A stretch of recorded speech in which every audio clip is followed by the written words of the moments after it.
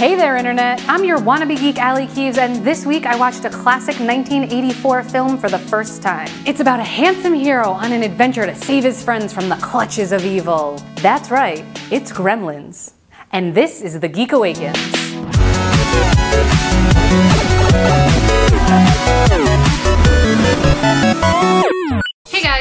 A kid, my older cousins showed me Gremlins, and after five minutes, I got so freaked out that I couldn't watch it anymore, and I haven't seen it since. So apparently there are three rules to owning a Furby. Number one. Oh, Aly, I, I think it's it's actually called a Mogwai. Hmm, I don't think so. There are three rules to owning a Furby. Number one, he hates bright lights. We know that. Uh-huh. But you got to keep him out of the sunlight. Sunlight will kill him. Okay, but what about those compact fluorescent bulbs? I'm trying to go green in my apartment and I... Number two, keep him away from water. Don't give him any water to drink. Uh-huh. And whatever you do, don't give him a bath. Who allows an animal into their house that they can't wash? It's gross. And probably the most important thing, Yeah? don't ever feed him after midnight. Just because Gizmo's a little pudgy around the midsection doesn't mean he needs a diet plan. Those are holiday pounds, okay? They'll be gone by April or May. Hey look, it's an 80s movie with Corey Feldman. So surprising. We miss you every day, Corey. Pretty sure Corey Feldman's still alive.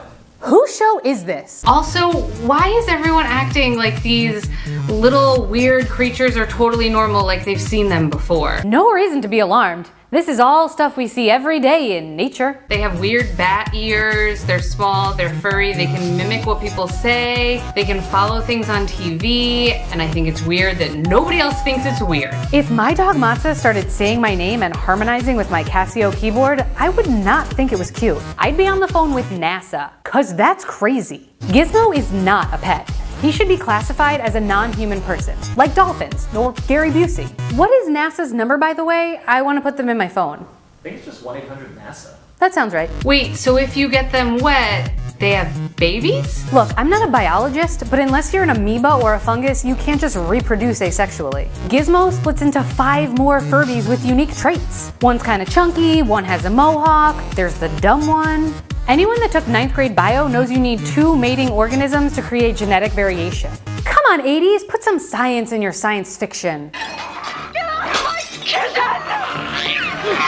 Mom just knifed a bunch of these little monsters. How is this a comedy? You go with your bad self, 80s mom. If my mom heard so much as a board creak upstairs, she'd be like, deuces, I'm out. No offense, mom, but you know it's true. Just finished Gremlins, and while I have no idea what I just watched, I thought it was fun. It was campy fun, but also there were moments that were really sad, like Kate's story about her how her dad died in the chimney on Christmas Eve. Where does that even come from? And that's why this movie is so hard to pin down. Is it a horror flick? Is it a comedy? And if it's trying to be scary, was it only scary for 80s kids or was it intended to be scary for 80s adults too?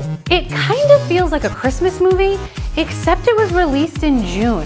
What fever dream was Chris Columbus having when he wrote a screenplay about slimy bat-eared killers that multiply in cocoons? Also, wasn't there another 80s movie about old people that find cocoons? What was that called? Cocoon. Mm, I don't think so. Because here's the kicker. This movie about murdery lizard goblins whose heads explode in the microwave is rated PG. Do you know what else is rated PG? Frozen. Anyway, the moral of the story is never get your kids a pet because they're irresponsible dopes and their animals will murder your whole town. Well, that's one more geek movie down, 12,894 to go. Thank you for watching The Geek Awakens. We are so glad to have you with us. If you enjoyed this show, be sure to like this video and subscribe to our channel for future episodes. We love hearing from you, so let me know what you think of the show and what I should be watching next by leaving a comment. For now, I'm Aly Keves, and I'll be geeking out here next week. I hope you'll join me.